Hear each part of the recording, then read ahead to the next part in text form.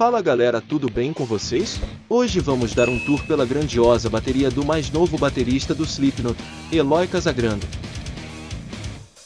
Vamos começar falando deste acabamento que é ímpar. Esta cor branca realça a grandiosidade deste instrumento que chama a atenção dos fãs e entusiastas. Ostentação pura, não é mesmo?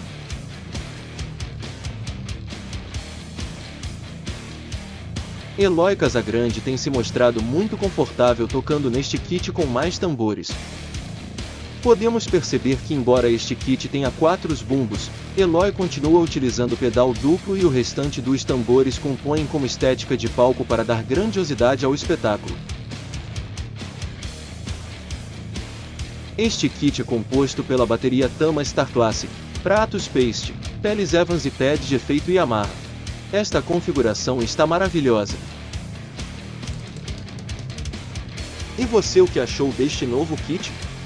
A banda se superou em montar um kit grandioso para receber Eloy Casagrande?